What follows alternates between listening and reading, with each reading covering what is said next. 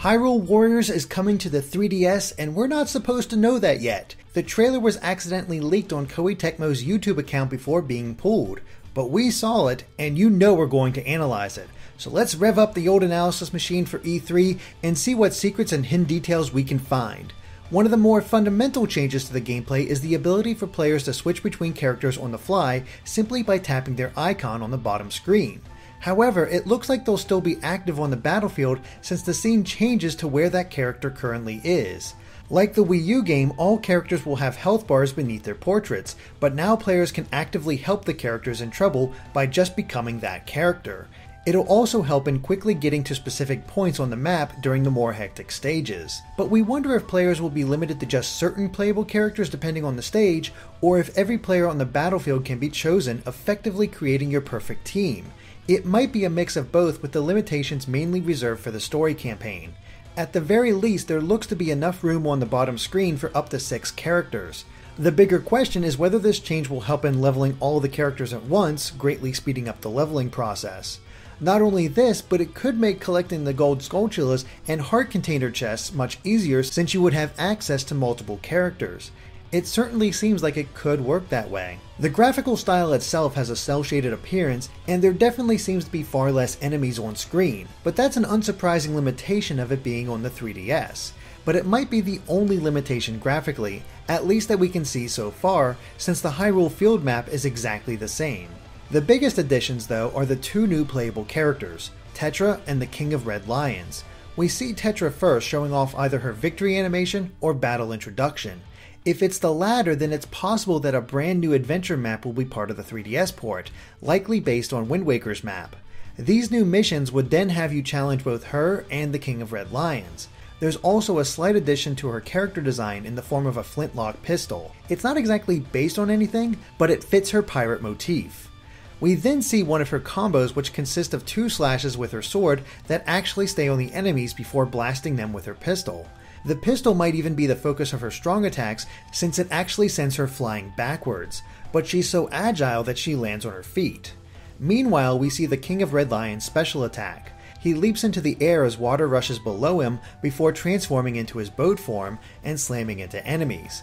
Simple enough, but what's interesting is the sail. We can see it spinning in the air before attaching itself to the boat, and when the attack finishes, it pops back off. This could mean that the sail will be the King of Red Lion's main weapon. There's one other thing to note about the characters though. The only DLC characters that are shown in the group shot are Cia, Volga, Wizzro, and Tingle. None of the others appear. Could this mean that the other DLC characters just can't fit in the 3DS version? And we do mean 3DS version since the box art shown is the standard one for 3DS games and not the new 3DS logo that appeared on Xenoblade Chronicles 3D. It's also worth noting that there's no amiibo icon on the box art, so it looks like the amiibo support that the Wii U version had is not being ported. Okay, we're almost done here, but there are still two more things. At the very end, Tetra opens a chest in the Water Temple to reveal a golden ocarina. This obviously has to be a new item, but what could it do? Maybe it allows players to warp around a stage. Maybe it can slow down time, or maybe it could even summon gold cuckoos to attack enemies. We just don't know. It could even mean that a new giant boss will be introduced, since every other item can be used to quickly reveal a boss's weak point gauge. It may even prove to be the weakness of the imprisoned, since no item could do that in the Wii U version. Another thing we don't know is the meaning of the appearance of this crossbow, something that was pointed out to us by Juan Carlos Pena on Twitter. It burst forward with Agitha, but it has no owner. This could be a reference to the female Link that was shown in the Hyrule Warriors art book, her personality was described as little sister like, but she was not Link's sister. Could it be possible that she'll actually be playable in the 3DS game, or will the crossbow simply be a new weapon for Link? It's certainly exciting to think about. Hyrule Warriors 3DS is looking to be an exciting port. While it likely won't have everything that the Wii U version had to offer, it'll be great for those on the go or those who couldn't experience it the first time and there seems to be enough changes that some die-hard fans of the game could even want to double dip. Of course, let us know if we missed anything in the comments. If you like this video, be sure to like us on Facebook or follow us on Twitter at GameXplain to keep up with everything we do. Thanks for watching and make sure to stay tuned to GameXplain for more on Hyrule Warriors, even more E3 coverage, and other things gaming. before attaching itself to the boat, and when the attack finishes, it pops back off. This could mean that the sail will be the King of Red Lion's main weapon. There's one other thing to note about the characters though. The only DLC characters that are shown in the group shot are Cia, Volga, Wizzro, and Tingle. None of the others appear. Could this mean that the other DLC characters just can't fit in the 3DS version? And we do mean 3DS version since the box art shown is the standard one for 3DS games and not the new 3DS logo that appeared on Xenoblade Chronicles 3D. It's also worth noting that there's no amiibo icon on the box art, so it looks like the amiibo support that the Wii U version had is not being ported. Okay, we're almost done here, but there are still two more things. At the very end, Tetra opens a chest in the Water Temple to reveal a golden ocarina. This obviously has to be a new item, but what could it do? Maybe it allows players to warp around. We see Tetra first showing off either her victory animation or battle introduction. If it's the latter, then it's possible that a brand new adventure map will be part of the 3DS port, likely based on Wind Waker's map. These new missions would then have you challenge both her and the King of Red Lions. There's also a slight addition to her character design in the form of a flintlock pistol. It's not exactly based on anything, but it fits her pirate motif. We then see one of her combos which consists of two slashes with her sword that actually stay on the enemies before blasting them with her pistol. The pistol might even be the focus of her strong attacks since it actually sends her flying backwards, but she's so agile that she lands on her feet. Meanwhile, we see the King of Red Lion's special attack. He leaps into the air as water rushes below him before transforming into his boat form and slamming into enemies. Simple enough, but what's interesting is the sail.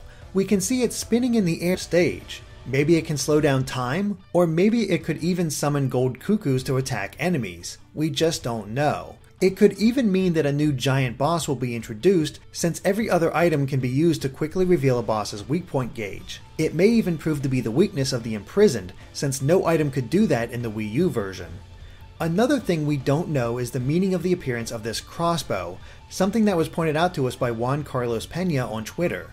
It burst forward with Agitha, but it has no owner.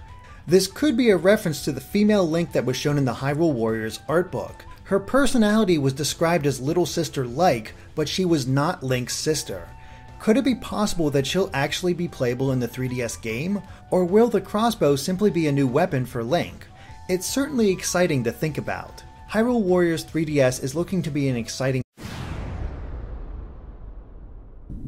Hyrule Warriors is coming to the 3DS, and we're not supposed to know that yet. The trailer was accidentally leaked on Koei Tecmo's YouTube account before being pulled, but we saw it, and you know we're going to analyze it. So let's rev up the old analysis machine for E3 and see what secrets and hidden details we can find. One of the more fundamental changes to the gameplay is the ability for players to switch between characters on the fly simply by tapping their icon on the bottom screen. However, it looks like they'll still be active on the battlefield since the scene changes to where that character currently is. Like the Wii U game, all characters will have health bars beneath their portraits, but now players can actively help the characters in trouble by just becoming that character. It'll also help in quickly getting to specific points on the map during the more hectic stages. But we wonder if players will be limited to just certain playable characters depending on the stage, or if every player on the battlefield can be chosen, effectively creating your perfect team. It might be a mix of both with the limitations mainly reserved for the story campaign. At the very least, there looks to be enough room on the bottom screen for up to six characters.